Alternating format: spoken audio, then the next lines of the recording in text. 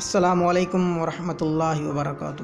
دوستو، آپ دیکھ رہے ہیں اپنا پیارا چینل کلام حق، محمد نعیم مخدومی کے ساتھ۔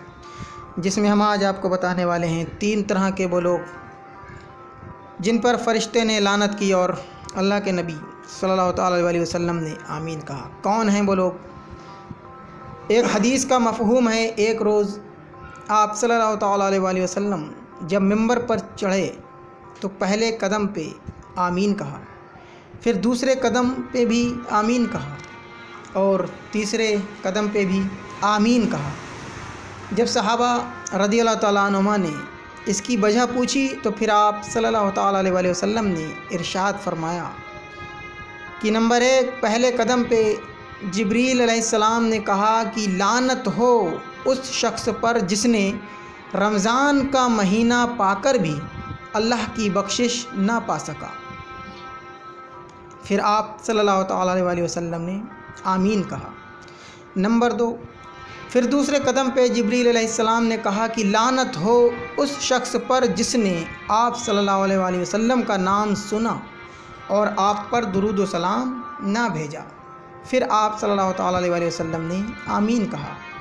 نمبر تین اور تیسرے قدم پہ جبرائیل علیہ السلام نے کہا کہ لانت ہو اس شخص پر جس نے اپنے ماں باپ کو بوڑھی عمر میں پا کر بھی جنت حاصل نہ کر سکا۔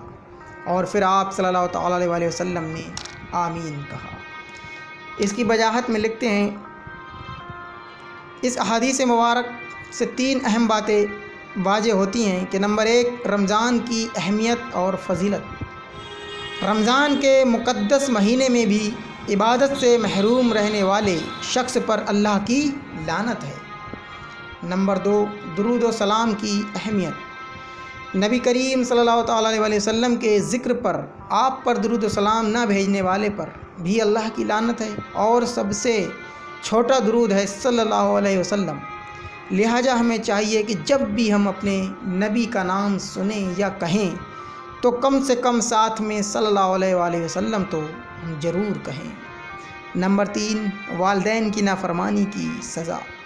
اور تیسرے قسم کے وہ لوگ ہیں جن پر اللہ نے لانت فرمائی، وہ جس نے اپنے والدین ماں باپ کو بوڑھی عمر میں پایا، لیکن ان کی خدمت سے محروم رہ کر اپنے رب کو راضی نہ کر سکا۔ اللہ رب العزت ہم سب کو کہنے سننے سے زیادہ عمل کی توفیق دے۔